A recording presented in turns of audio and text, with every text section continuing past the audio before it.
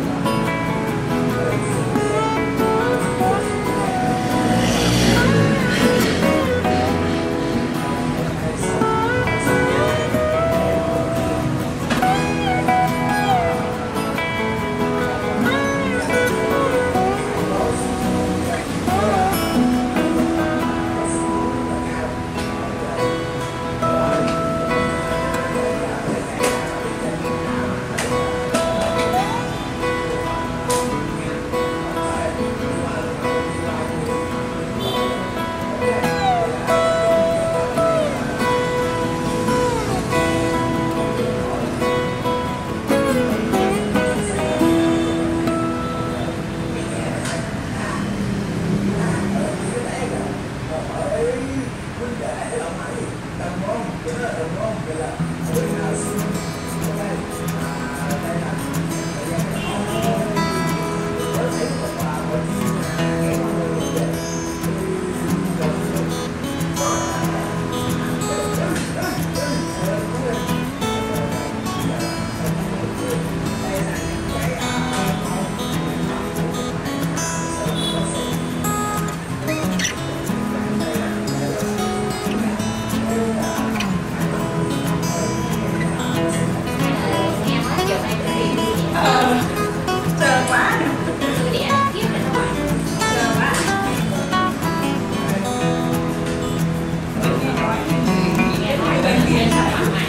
Después me tienes a...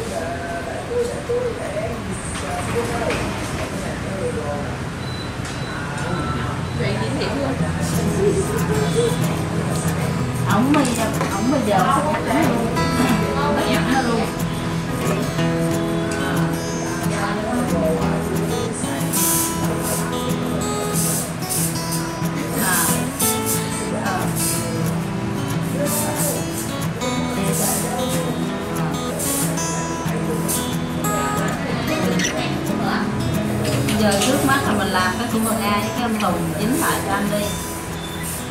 Sau đó mới tính tới cái kia chứ giờ cùng.